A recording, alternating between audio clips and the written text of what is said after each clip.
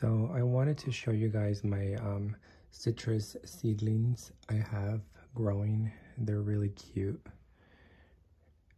They're getting, they're getting a little bit bigger. Um, so I have them growing um, in this, in this, um, it's a like miniature uh, greenhouse, like a seed a little greenhouse for um, for seeds um, to start seeds.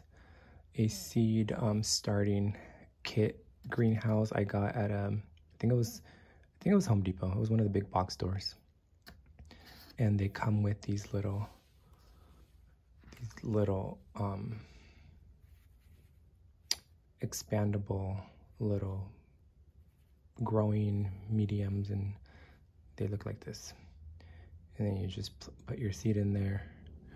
You get them wet, they expand or they double in size, and then you plant your seed. It comes with a lid. I have it up there. Can't reach right now. I just removed it. And then, um, uh, yeah, so it's like a nice little starter setup. Um, the there's a heating pad under here under there. So let me show you.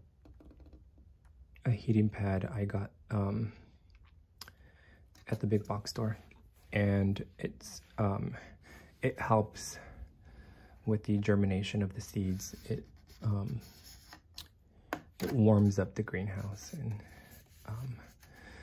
um, it helps with um, getting the seeds to sprout um, faster. So, um, so that's the little setup I have here. I'm growing them indoors. I started my seeds, my first seeds, right over here. And um, I started them in November, like sometime in November. I don't remember the exact date because I didn't write the date down, but I know it was November, like mid-November. And and I started with Sudachi first, and then, so in one day I planted like these first two rows, and then the next day I did a different variety. Like the Indian, I have the Indian Mandarin Quat. Um, I have two, one, two. I'll give you a closer look. And then I did a two of the Sanguinelli, and then amber sweet, yuzu, and Ichang lemon. Um, so those are the varieties, but I would plant, I plant it, um, each variety a day apart. So like Monday, then Tuesday, then Wednesday. Um, except for when I got to the yuzu and the Ichang, they were like uh, a few days later. So not just one day, like two or three days later. But um, even though they were planted a little bit later, some of these, these were planted later than this first row. Um, this was plant, planted last. A lot of them are outgrowing, are outgrowing.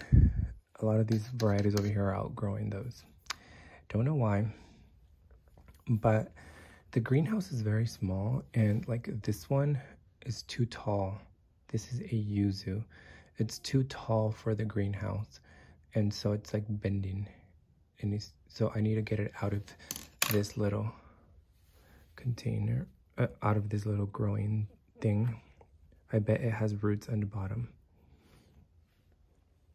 And let's check.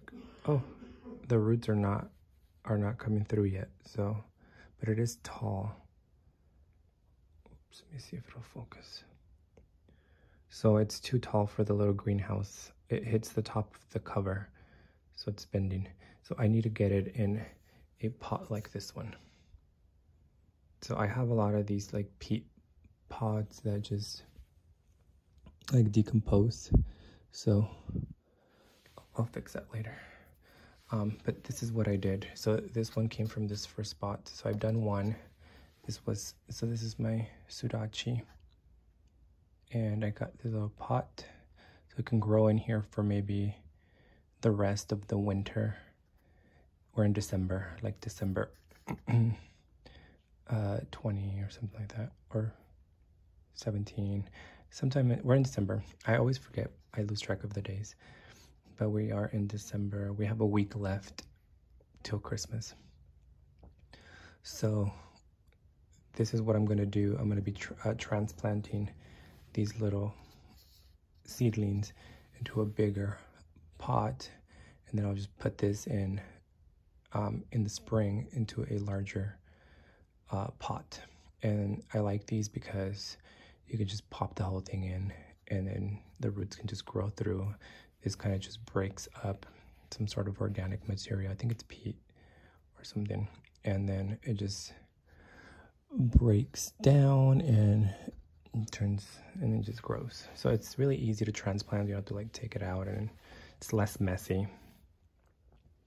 So I'm gonna be doing, I'm gonna be transplanting a lot of these larger ones into these. The reason why I haven't done it, I did one, but I haven't done the rest because I don't have enough labels. So I ordered some labels so that I won't, um, so that I won't get mixed up. Um, I won't get the varieties mixed up. I want to know what I'm growing. So I just did one because it's easy to remember. So I should get the labels. I ordered them, so they should come soon, and I can um, repot these little seedlings into a bigger, bigger container. Um, yeah, so what was I going to tell you? Okay, so yeah, um, I think I had like a really good, I stopped here, so I only used like half the tray. I stopped right around here, two down. And then these are all empty, so I can still grow stuff here if I need to. I only used half the tray. Um, I don't remember how many little pots are in there. But I had really good germination um, rates. Like here, two of them are just probably not going to come up in the first row. Here, this one died, but it did come up. So I would say from the Sudachi, I pretty much got 100%. These two didn't come up. These two didn't come up. This one's coming up. See, and see how this is very little? It's just barely coming up. And then this one is just really large and they were planted the same day. So they do grow like at different rates. Like these are smaller, these three, but then there's like these really small ones. Um, I don't know if they will come true to seed, if they come true to seed. Um, so some of these might be hybrids and some of them might just be clones of the mother plant. Um, but it's definitely interesting to, um, I really am interested in the um, the clones, not the clones, um, the hybrids. The clones are, you know, cool because you know what exactly what you're gonna get. But the hybrid, the hybrids, I think are um, more exciting if I do get any hybrids, because um, then you have like different a new a new variety, perhaps um, like a very unique fruit that maybe you only have. Um, so we'll see. Um, you do have to be patient. Uh, I've heard that they can take up to 10 years to, to fruit. Um, citrus grown from seed, or just any tree really, grown from seed, they do take a lot of a lot of time, a lot of years. So up to 10 years for them to fruit. Um, they could fruit, some varieties could fruit sooner, maybe two to three years, um, but we'll see. So I'm thinking I'm going to give you guys updates, like yearly updates because um, it's, it's going to be a long, a long journey for these seeds. Um, so yeah, so the, this, the, the yuzu, I mean the sudachi came from seed from my tree grown, um, that's a grafted tree grown in my backyard, my little baby tree the in Indio Mandarin in Indio Mandarin quat I am excited about because those if you haven't had that fruit the Indian Indian Indio Mandarin quat. If you haven't had the fruit, they are really, really good. There's another little one coming up. Another little one just like popping up here. They're very different. They are a Mandarin and a kumquat hybrid. And now I don't know if they're gonna come true from uh, if they're gonna come true to the the parent, the mother plant from seed, or if they're gonna be another uh, if they're gonna be a hybrid of a hybrid, or what's going on, or what's gonna happen. But it's gonna be very cool to to see. Do you see how they kind of grow, kind of like just like a stem? There's not a lot of leaves. The leaves haven't popped up at the top. They just look like a little long stem. The, the one in the back has a little leaf. Um, but the other citrus that don't have, um, what's it called? Kumquat in, in its heritage, they have like these really nice leaves. So it definitely looks different. Um, and then we have the sangu sanguinelli, sanguinelli. That's a, a type of uh, blood orange. Here we have um, two. This one, this one's really pretty. It's older. And then we have another one that I'm really excited about, Amber Sweet, that variety. Amber Sweet, it's this one. And they're really, really um, vigorous look how like big they are. One, two, three. There's some in the back. But they're really, really pretty little seedlings. Very strong, a, a really good trunk that's developing and the the leaves are really nice and round and pretty. Um, so it, it looks very strong and beautiful. Um, I'm definitely definitely excited to see um, what kind of fruit they're going to produce when they're mature in several years. Um, this is also an amber sweet, amber sweet, amber sweet, amber sweet, amber sweet, amber sweet. So three, so we have six. These are a lot smaller they came up later. These came up sooner. And then, then we have the yuzu. And then this is the one that came up the, the fastest and the prettiest. But it's, I think, polyembryonic. I don't even know if that's pronounced correctly. Polyembryonic, I think it just means it's got like multiple little embryos in one seed. So you get like one, two, you can see like three little trees. One, two, and there's another third one coming up. Um, so I think it's called polyembryonic. And it it it happened also with the um Sudachi, but I did remove um some of them. Some of them had two, some of them had three, and I left one. Like some of them like this one, I removed the strongest, biggest one and left the smallest. A lot of them I left the smallest. At least with the with the um with the Sudachi. Um, I've heard that the largest, strongest one when you have a polyembryonic seed is usually a clone. So I wanted some sort of hybrid I wanted to increase my possibilities of getting a hybrid, so I kept the smallest. And then, but but then you do have one, you do have some seeds that are just, you know, you only get one, one tree. So um, I don't know. I have to do more research. I, I don't I don't know exactly. Um, I'm not an expert, so I have to research, do some more research. But then you have the yuzu. But the one that I'm the most excited about is this Ichang lemon. I ordered um, the seeds online from this website. I don't remember, but it was I paid for five seeds, and then only one of them came in good condition. and this two possibly, but I tried two, But the second seed, I, I felt like this wasn't going to be good. Like it, it just didn't look good. The rest were destroyed and it was terrible.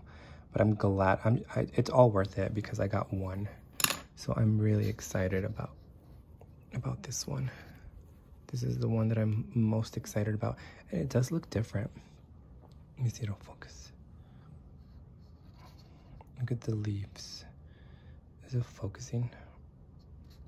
Mm, I don't know.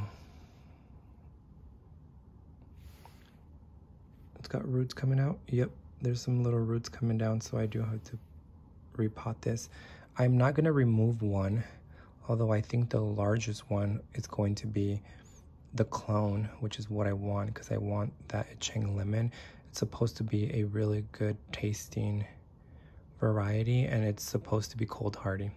You guys know I'm in a growing zone 8B um, and it's hard for me to grow citrus if they are if they are um, if, if they're not cold hardy. It's a little bit more difficult. Um, even the cold hardy varieties I struggle a little bit sometimes. But um but but yeah this looks really cool. I think it looks a lot different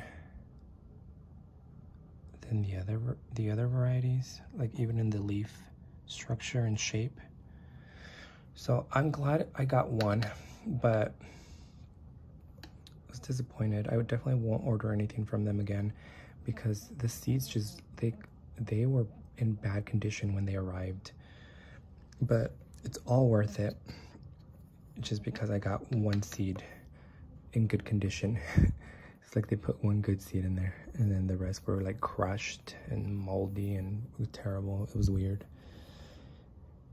Um, so yeah, so this is the one that I really, really, really, really want to grow and produce for me. Um, I already have yuzu in my collection, so I don't know. I might give some away um, or just have maybe, you know, add a few more trees. Not sure yet, and I already have Sudachi, um, so I'm not too excited about those, although those are wonderful varieties. They are cold hardy varieties, and in my opinion, like um, trees grown from seed, they tend to do better and they tend to be more vigorous and hardier um, than the grafted varieties. I do have a yuzu, so I already have two. I have one grafted variety and then I have one grown from seed. So uh, I don't know. So those are the, I might give those away. Um, the Indio Mandarin quat, I'm really excited about. I'm not giving those away. It's right over here. Because I have a, that's a strong possibility that that's going to be like a whole nother unique a fruit. I don't think they come true from seed, so that might just be a hybrid of a hybrid. And it might be something wonderful or something terrible. Or it could just be I don't know if they come true. It's going to be wonderful because they they are delicious. If you haven't tried the Indian mandarin definitely try them. You can eat the whole thing and they're super super delicious. One of my favorites. The amber sweet, I had an opportunity to try the fruit. Very very delicious. It looks like an orange and kind of tastes like an orange, but it's not an orange at all.